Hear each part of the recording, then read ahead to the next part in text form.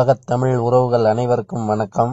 இன்று இந்த வீடியோவில் என்ன பார்க்க போறோம்னா பூர்வீக சொத்தில் கூட்டு உரிமையாளர்களுடைய அந்த கோபாசனர் எனப்படும் அந்த கூட்டு உரிமையாளர்களின் பங்கு என்ன பூர்வீக சொத்தில் எவ்வாறு பாகம் கேட்பது பூர்வீக சொத்து என்றால் என்ன தனிப்பட்ட சொத்து என்றால் என்ன எப்போது ஒரு பூர்வீக சொத்து தனிப்பட்ட சொத்தாக மாறும் எப்போது? பூர்வீக சொத்து. ஒரு தனி சொத்தாக மாறாது. இதையெல்லாம் பற்றித்தான் இந்த வீடியோவில் நாம் முழுமையாக பார்க்க போகிறோம் இந்த பூர்வீக சொத்து மற்றும் இந்த தனிப்பட்ட சொத்து சம்பந்தமாக சமீபத்தில் மாண்புமிகு சென்னை உயர்நீதிமன்றம் வழங்கிய ஒரு வழக்கினுடைய தீர்ப்பு மற்றும் அந்த வழக்கின் சாராம்சம். அதை பற்றியும் இந்த வீடியோவில் நாம் முழுமையாக பார்க்க போகிறோம் தொடர்ந்து வீடியோவை ஸ்கிப் செய்யாமல் பாருங்கள். அதற்கு முன் நம்மளுடைய சேனலை இப்போ தான் முதல் முறை பார்க்கிறீர்கள் என்றால் சப்ஸ்கிரைப் பண்ணுங்க. தொடர்ந்து சட்டம் சார்ந்த விழிப்புணர்வு வீடியோக்கள் அரசாணைகள் மற்றும் உயர்நீதிமன்ற உச்சநீதிமன்ற தீர்ப்புகள் பதிவேற்றம் செய்யப்படுகிறது. முதலில் பூர்வீக சொத்து மற்றும் இந்த கோபாசினரி ரைட்ஸ் என்றால் என்ன என்பதை பார்ப்போம். பூர்வீக சொத்து என்பது தனக்கு தன்னுடைய மூன்று தலைமுறைகளுக்கு முன்னால் வரை கிடைக்கப்பட்ட சொத்துக்கள் அனைத்துமே பூர்வீக சொத்தாக கருதப்படும். ஒரு இந்து ஆண் இருக்கிறார் என்றால் அவருடைய தந்தை தந்தையினுடைய தந்தை தந்தையினுடைய தந்தையினுடைய தந்தை. இந்த மூன்று தலைமுறைகள் மூலம் ஒருவருக்கு கிடைக்கப்பெற்ற ஒரு சொத்தானது அவருக்கு அது பூர்வீக சொத்தாக கருதப்பட்டு அவருக்கு அடுத்த மூன்று தலைமுறைகளுக்கு அந்த சொத்தின் மீது உரிமை வந்துவிடும். அதாவது தன்னுடைய மகனுக்கு மகனினுடைய மகனுக்கு மகனினுடைய மகனினுடைய மகனுக்கு அதாவது மகனுக்கு பேரனுக்கு கொள்ளு பேரனுக்கு என அந்த மூன்று தலைமுறைகளுக்கும் தான் எவ்வாறு மூன்று தலைமுறைகளுக்கு முன்பு உள்ள தன்னுடைய முன்னோர்களிடமிருந்து ஒரு சொத்தை வாரிசுரிமை அடிப்படையிலோ அல்லது பாகப்பிரிவினை மூலமோ கிடைக்க பெற்றதோ அந்த சொத்துக்கள் அனைத்துமே தன்னுடைய அடுத்த மூன்று தலைமுறைகளுக்கு அந்த சொத்து உரிமையாகிவிடும். இதுதான் இந்த கோப்பாசினரி ரைட்ஸ் அல்லது கோப்பாசினருடைய கூட்டு இந்து கூட்டு குடும்பத்தினுடைய உரிமையாளர்களுடைய அந்த பை பர்த் எனப்படும் பிறப்பின் அடிப்படையிலே கிடைக்கப்பெறும் அந்த சொத்துரிமையாகும். இந்த உரிமையானது இந்து ஆண்களுக்கு மட்டுமே இருந்து வந்த நிலையில் கடந்த ரெண்டாயிரத்தி ஐந்தாம் ஆண்டு மத்திய அரசு கொண்டு வந்த இந்து வாரிசுரிமை சட்ட திருத்தத்தின் மூலம் இந்த கோபாசினரி ரைட்ஸ் அதாவது இந்த இந்த பிறப்பால் கிடைக்கப்பெறும் அந்த சொத்துரிமையானது ஆண்களுக்கு இணையாக பெண்களுக்கும் உண்டு என்று இந்து வாரிசுரிமை சட்டம் பிரிவு ஆறில் மாற்றம் கொண்டு வந்து அதன் அடிப்படையில் தற்பொழுது ஆண்களைப் போலவே பெண்களுக்கும் இந்த கோபாசினரி ரைட்ஸ் எனப்படும் பூர்வீக சொத்தில் பங்கு ஆண்களுக்கு இணையாக சமமாக கிடைக்கப்பெறும். தனிப்பட்ட சொத்து என்பது ஒருவர் தன்னுடைய சுய சம்பாத்தியத்தில் தன்னுடைய வருமானத்தில் வைத்து ஒருவர் சம்பாதிக்கும் அந்த சொத்துக்கள் அனைத்துமே சுய சம்பாத்திய சொத்தாகும். இந்த சுய சம்பாத்திய சொத்தானது அவருடைய இறந்த பிறகு அவருடைய வாரிசுகள் அந்த வாரிசுரிமை அடிப்படையில் அந்த சொத்தை அனைவரும் சமமாக பிரித்து கொள்வார்கள். அது இந்து வாரிசுரிமை சட்டம். பிரிவு எட்டின் கீழ் அவருடைய அந்த முதல் வகுப்பு வாரிசுகள் இரண்டாம் வகுப்பு வாரிசுகள் மூன்றாம் வகுப்பு வாரிசுகள் என அந்த வாரிசுரிமை அடிப்படையில் அந்த சொத்துக்கள் அனைவருக்கும் சென்றடையும். ஆனால் பிரச்சனை இந்த பூர்வீக சொத்தில் மட்டுமே தற்பொழுது வரை இருந்து வருகிறது. இந்த பூர்வீக சொத்து எப்பொழுது தனி சொத்தாக அதாவது ஒருவருடைய தனிப்பட்ட சொத்தாக மாறும் என்றால் இந்து வாரிசுரிமை சட்டம் ஆயிரத்தி தொள்ளாயிரத்தி ஐம்பத்தி ஆறு நடைமுறைக்கு வந்த பிறகு உதாரணத்திற்கு ஒரு இந்து ஆண் ஆயிரத்தி தொள்ளாயிரத்தி அறுபதில் இறந்ததாக கருதப்பட்டு அவருக்கு சொத்துக்கள் இருந்தால் அவருடைய வாரிசுகளுக்கு அந்த சொத்து வாரிசுரிமை அடிப்படையில் பிரித்து கொள்ளப்படும். அந்த சொத்தானது அவர்களுடைய தனிப்பட்ட சொத்தாகவே கருதப்படும். அந்த வாரிசுகள் அனுபவித்து அந்த சொத்தை அதன் பிறகு அவருடைய வாரிசுகள் அந்த சொத்தை அவர் இறந்த பிறகு பெறும்பொழுது அந்த வாரிசுகளுக்கு அந்த சொத்தானது தன்னுடைய தாத்தா சொத்தாகவே இருந்தாலும் தன்னுடைய தந்தையிடமிருந்து அவர் இறந்த பிறகு கிடைக்கப்பெற்ற அந்த வாரிசுரிமை அடிப்படையில் கிடைக்கப்பெற்ற சொத்து என்பதால் அது அவர்களுக்கு ஒரு தனிப்பட்ட சொத்தாகவே கருதப்படும். ஆனால் பூர்வீக சொத்து எப்பொழுது தனிப்பட்ட சொத்தாக மாறாது என்றால் ஒரு இந்து ஆண் இந்து வாரிசுரிமை சட்டம் ஆயிரத்தி தொள்ளாயிரத்தி ஐம்பத்தி ஆறு நடைமுறைக்கு வருவதற்கு முன்பாகவே இறந்து இந்து வாரிசுரிமையானது மித்தாக்சரலா என அந்த சட்டப்படியே இந்து கூட்டு குடும்ப சொத்தானது பிரித்தளிக்கப்பட்டது. அதன்படி சர்வேவர்ஷிப் எனப்படும் ஒரு இந்து குடும்பத்தில் யார் உயிரோடு இருக்கிறார்களோ பை பர்த் பிறந்த உடனேயே அவருக்கு அந்த சொத்தில் உரிமை வந்துவிடும். ஒரு இந்து ஆணுக்கு சொத்து இருக்கிறது என்றால் அவருக்கு ஒரு மகன் பிறக்கிறார் என்றால் அந்த மகனுக்கு உடனேயே அந்த சொத்தில் பங்கு வந்துவிடும். அதன் பிறகு அந்த மகனுக்கு ஒரு இன்னொரு மகன் பிறந்து விடுகிறான் என்றால் அந்த மகனுக்கும் அந்த சொத்தில் பங்கு வந்துவிடும். பை பர்த் அந்த சொத்தின் மீது மித்தாக்சரலா சட்டப்படி உரிமை வந்துவிடும். எனவே மித்தாக்சரலா சட்டப்படி ஆயிரத்தி தொள்ளாயிரத்தி ஐம்பத்தி ஆறுக்கு முன்பாக ஒரு சொத்தின் உரிமையாளர் இறந்த பிறகு அதன் அடிப்படையில் அவருடைய வாரிசுகளுக்கு அந்த சொத்து வழி வழியாக வந்திருந்தாலும் அந்த சொத்து தற்போது வரை அது ஒரு பூர்வீக சொத்தாகவே கருதப்படும். உதாரணத்திற்கு ஒரு இந்து ஆண் இருக்கிறார் என்றால் அவருடைய தந்தை தந்தையினுடைய தந்தை தாத்தா தாத்தாவினுடைய தந்தை கொள்ளு தாத்தா. அந்த தாத்தாவானவர் ஆயிரத்தி தொள்ளாயிரத்தி ஐம்பத்தி ஆறுக்கு முன்பாக இறந்து விடுகிறார் என்றால் அந்த சொத்தானது பூர்வீக சொத்தாகவே தற்போது வரை இருந்து வரும். அதில் அந்த தந்தையினுடைய மகன் மகனனுடைய மகன் மகனனுடைய மகன் என கொள்ளுப்பேரனுக்கும் அந்த சொத்தில் உரிமை வந்துவிடும். அந்த சொத்தின் மீது பை பர்த் யாரெல்லாம் அந்த வாரிசுகளுக்கு பிறந்திருக்கிறார்களோ அவர்கள் அனைவருக்குமே அந்த சொத்தின் மீது உரிமை வந்துவிடுகிறது இதுவே ஒரு இந்து ஆண் இருக்கிறார் என்றால் அவருடைய தந்தை தந்தையினுடைய தந்தை தாத்தா தாத்தாவினுடைய தந்தை கொல்லு தாத்தா ஆயிரத்தி தொள்ளாயிரத்தி ஐம்பத்தி ஆறுக்கு பின்பு இறந்து விடுகிறார் என்றால் அவருடைய அந்த சொத்தானது வாரிசுரிமை அடிப்படையில் பிரித்தளிக்கப்பட்டு அவருடைய வாரிசுகளுக்கு அந்த சொத்தானது தனிப்பட்ட சொத்தாகவே இருந்து வரும்.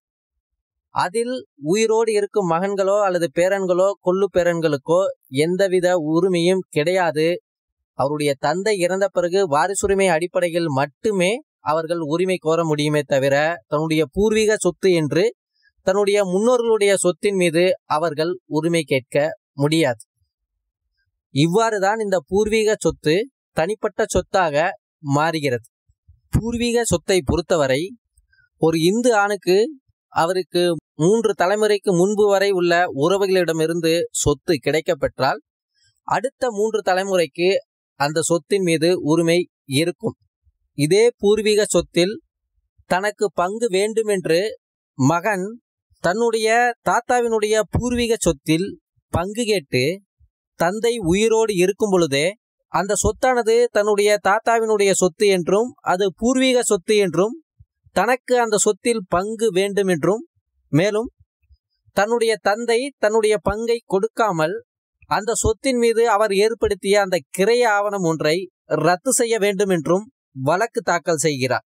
மேற்படி அந்த வழக்கில் கீழமை நீதிமன்றங்கள் தந்தை உயிரோடு இருக்கும் பொழுது அந்த சொத்தின் மீது மகன் பங்கு கேட்டு வழக்கு தொடுக்க முடியாது என்றும் தந்தைக்கு அந்த சொத்தானது அவருடைய தந்தையிடமிருந்து வாரிசுரிமை அடிப்படையில் கிடைக்கப்பெற்ற சொத்து என்றும் அது அவருடைய தனிப்பட்ட சொத்து என்றும் எனவே தனிப்பட்ட சொத்தின் மீது பங்கு கேட்க மகனுக்கு உரிமை இல்லை என்றும் இரண்டு கீழமை நீதிமன்றங்களும் வழக்கை தள்ளுபடி செய்கிறது. இதனை எதிர்த்து இரண்டாவது மேல்முறையீடாக அந்த மகன் மாண்புமிகு சென்னை உயர்நீதிமன்றத்தில் வழக்கு தாக்கல் செய்கிறார். அந்த வழக்கில் மாண்புமிகு உயர்நீதிமன்றம் என்ன கேள்வி வைக்கிறார்கள் என்றால் அந்த சொத்தானது தந்தைக்கு தனிப்பட்ட சொத்தா அல்லது பூர்வீக சொத்தா? அந்த சொத்தின் மீது பங்கு கேட்பதற்கு மகனுக்கு பிறப்பின் அடிப்படையில் உரிமை இருக்கிறதா இல்லையா? ஏனென்றால் பூர்வீக சொத்தில் மட்டுமே பை பர்த் எனப்படும் அந்த கோபாசனரி ரைட்ஸ் அடிப்படையில் கூட்டு பங்கு உரிமையாளர்கள் என்ற அடிப்படையில் அந்த சொத்தின் மீது நாம் உரிமை கேட்டு தந்தை உயிரோடு இருக்கும் பொழுதே பூர்வீக சொத்தில் பங்கு கேட்டு நாம் வழக்கு தொடுக்க முடியும் பங்கு கேட்க முடியும். அதன்படி இந்த வழக்கில் பிறப்பின் அடிப்படையில் இந்த மகன் பங்கு கேட்பதற்கு உரிமை இருக்கிறதா இல்லையா என்பதையும் இந்த வழக்கில் மாண்புமிகு சென்னை உயர்நீதிமன்றம் விளக்கம் அளித்துள்ளது. மேலும் அந்த தந்தை விற்பனை செய்துள்ள அந்த கிரைய பத்திரம் செல்லுமா செல்லாதா என்பதற்கும் இந்த வழக்கில் தீர்ப்பளித்துள்ளது. இந்த வழக்கில் தந்தைக்கு அவருடைய தந்தையிடமிருந்து அவர் இறந்த பிறகு வாரிசுரிமை அடிப்படையில் கிடைக்கப்பட்ட சொத்து என்றும் அவருடைய தந்தைக்கு அவருடைய தந்தை இறந்த பிறகு அவர்களுடைய சகோதரர்கள் அந்த வாரிசுரிமை அடிப்படையில் கிடைக்கப்பட்ட சொத்து என்றும் அதன் அடிப்படையில் அந்த சொத்து பூர்வீக சொத்தாக இருந்தாலும் தனக்கு பாகம் மூலம் கிடைக்கப்பட்ட சொத்து என்பதால் அது ஒரு தனிப்பட்ட சொத்து என்றும் அவர்கள் எதிருரையில் வாதிடுகிறார்கள். ஆனால் மேற்படி அந்த சொத்தினுடைய கொல்லு தாத்தா யார் உரிமையாளராக இருக்கிறாரோ ஆதியில் அவர் ஆயிரத்தி தொள்ளாயிரத்தி ஐம்பத்தி ஆறுக்கு முன்பாக கிட்டத்தட்ட அறுபத்தைந்து ஆண்டுகளுக்கு முன்பாகவே இறந்து விடுகிறார். அதாவது இந்து வாரிசுரிமை சட்டம் ஆயிரத்தி தொள்ளாயிரத்தி ஐம்பத்தி ஆறு சட்டம் கொண்டு வருவதற்கு முன்பாகவே அந்த சொத்தின் ஆதியில் உள்ள அந்த கொள்ளு தாத்தா இறந்து விடுகிறார். எனவே இந்து வாரிசுரிமை சட்டம் நடைமுறைக்கு வருவதற்கு முன்பாக இந்து கூட்டு குடும்பமானது மித்தாக்சரா சட்டப்படி இந்து ஆணனுடைய சொத்துக்கள் அந்த சட்டப்படி கோபாசினரி ரைட்ஸ் எனப்படும் கூட்டு உரிமையாளர்களுக்கு அந்த சொத்தானது சென்றடைந்து விடும் எனவே இந்த வழக்கிலும் அவ்வாறு மித்தாக்சரலா சட்டப்படி ஒருவருக்கு சொத்து கிடைக்கப்பெற்றால் அவருடைய அடுத்த மூன்று தலைமுறைக்கும் அந்த சொத்தின் மீது பிறப்பால் பங்கு வந்துவிடும் உரிமை வந்துவிடும். அதன் அடிப்படையில் பார்த்தால் இந்த தந்தைக்கு அவருடைய கொள்ளு தாத்தாவிடமிருந்து சொத்து கிடைக்கப்பட்டுள்ளது. அதாவது தன்னுடைய தந்தைக்கு அவருடைய தந்தையிடமிருந்து. எனவே கொள்ளு தாத்தாவினுடைய சொத்தானது இந்த தந்தைக்கு கிடைக்கப்பட்டுள்ளதால் அது ஒரு கோபாஸ்னரி எனப்படும் கூட்டு உரிமையாளர்களுடைய சொத்து எனப்படும் அதன் அடிப்படையில் தந்தை உயிரோடு இருக்கும் பொழுதே எனக்கு உரிமை உள்ளது என்றும் அவர் மாண்புமிகு சென்னை உயர்நீதிமன்றத்தில் இரண்டாவது மேல்முறையீட்டில் அவர்கள் வாதிடுகிறார்கள்.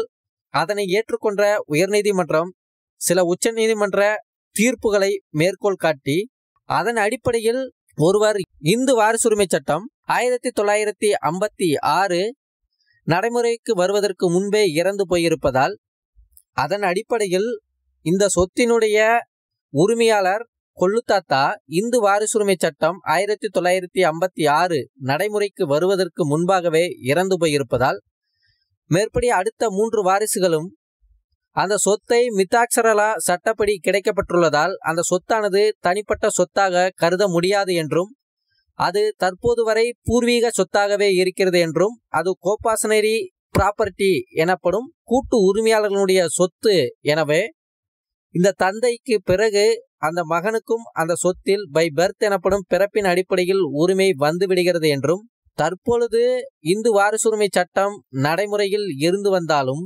ஏற்கனவே உள்ள அந்த கோபாசினரி ரைட்ஸ் எனப்படும் அந்த கூட்டு உரிமையாளர்களுடைய அந்த உரிமையை எந்த விதத்திலும் பாதிக்காது என்றும் எனவே இந்த வழக்கு தொடுத்த மகனுக்கு தன்னுடைய தாத்தாவினுடைய பூர்வீக சொத்தில் பங்கு கேட்பதற்கு உரிமை இருக்கிறது என்றும் அதன் அடிப்படையில் அந்த மகன் மற்றும் மூன்று சகோதரிகள் மற்றும் அந்த தந்தை என ஐந்து பாகங்களாக பங்கு கேட்பதற்கு உரிமை இருக்கிறது என்றும் மாண்புமிகு சென்னை உயர்நீதிமன்றம் ஒரு அதிரடி தீர்ப்பை வழங்கியுள்ளது. மேலும் இந்த சொத்தை ஐந்து பாகங்களாக பிரித்தால் எவ்வளவு பங்கு கிடைக்குமோ அதைவிட சற்று கூடுதலாக அந்த தந்தை பாகம் பிரிக்காமலேயே அந்த சொத்தை விற்பனை செய்திருப்பதால் அவருடைய பங்காக அது கருதப்பட்டு மேலும் அவர் கர்த்தாவாக இருப்பதாலும் குடும்பத்தின் தலைவராக இருப்பதாலும் அவர் அந்த குடும்ப செலவுக்காக ஒரு பணத்தை கூடுதலாக சேர்த்து செலவழித்திருக்கலாம் என்ற ஒரு காரணத்தினால் அவர் கூடுதலாக சேர்த்து விற்பனை செய்த அந்த இடமும் அந்த கிரைய பத்திரமும் சட்டப்படி செல்லும் என்றும் அதை ரத்து செய்ய முடியாது என்றும் எனவே அவருடைய தந்தை பாகத்திற்கு ஏற்கனவே அவர் விற்பனை செய்து விட்டதால் மேற்படி அந்த மகன் மற்றும் மூன்று மகள்கள் என இந்த நான்கு பேருக்கும் மீதி உள்ள அந்த சொத்தினுடைய பாகத்தை நான்கு பாகங்களாக பிரித்து கொடுக்க வேண்டும் என்றும் ரெண்டாயிரத்தி ஐந்துக்கு முன்பு வரை அந்த மகள்களுக்கும் சர்வேயர்ஷிப் உரிமை கிடையாது. ஆனால் மத்திய அரசு கொண்டு வந்த ரெண்டாயிரத்தி ஐந்தாம் ஆண்டு கொண்டு வந்த சட்ட திருத்தத்தின்படி மகள்களுக்கும் தற்பொழுது பிறப்பால் சொத்துரிமை கிடைப்பதால் அந்த மகள்களுக்கும் அந்த சொத்தில் பங்கு கேட்பதற்கு உரிமை இருக்கிறதும் என்று கூறி அந்த சொத்தை நான்கு பாகங்களாக பிரித்து கொடுக்க வேண்டும் என்று கீழமை நீதிமன்றத்திற்கு மாண்புமிகு சென்னை உயர்நீதிமன்றம் ஒரு அதிரடி தீர்ப்பை வழங்கி இந்த வழக்கை முடித்து வைத்தது. மேலும் இந்த வழக்கில் என்ன சொல்லியிருப்பாங்கன்னா ஒருவேளை அந்த கொள்ளுத்தாத்தா ஆயிரத்தி தொள்ளாயிரத்தி ஐம்பத்தி ஆறுக்கு பின்பு இறந்திருந்து அதன் பிறகு வாரிசுரிமை அடிப்படையில் அந்த சொத்து தாத்தாக்களுக்கு கிடைக்கப்பெற்று அதன் பிறகு இந்த வழக்கு தொடுத்தவரின் தந்தைக்கு அந்த சொத்து கிடைக்கப்பெற்றால் அந்த சொத்தானது தற்பொழுது தனிப்பட்ட சொத்தாகவே கருதப்படும். அவ்வாறு தனிப்பட்ட சொத்தில் தன்னுடைய முன்னோர்கள் மூலம் அந்த சொத்து கிடைக்கப்பட்டிருந்தாலும் தந்தை உயிரோடு இருக்கும் பொழுது மகன் அந்த சொத்தின் மீது பங்கு கேட்க முடியாது என்றும் அது முன்னோர்கள் சொத்தாக இருந்தாலும் அந்த சொத்தின் உரிமையாளர் ஆயிரத்தி தொள்ளாயிரத்தி ஐம்பத்தி ஆறுக்கு பின்பு இறந்திருந்தால் அந்த இந்து அரசுரிமை சட்டப்படி பிரிவு எட்டிங்கில் அந்த சொத்துரிமை அவர்களுக்கு கிடைக்க பெற்றால் அந்த சொத்தானது அது முன்னோர்கள் சொத்தாக இருந்தாலும் அது தனிப்பட்ட சொத்தாகவே கருதப்படும் என்றும் இந்த வழக்கில் மாண்புமிகு சென்னை உயர்நீதிமன்றம் தெளிவாக விளக்கம் அளித்துள்ளது. மேலும் இந்த வீடியோ சம்பந்தமாக மற்றும் பூர்வீக சொத்து தனிப்பட்ட சொத்து சம்பந்தமாக சந்தேகம் ஏதும் இருந்தால் கமெண்ட் பாக்ஸில் கேளுங்கள். நேரடியாகவும் தொலைபேசி மூலம் தொடர்பு கண்டு உங்களுடைய சந்தேகங்களை கேட்கலாம். நன்றி வணக்கம்.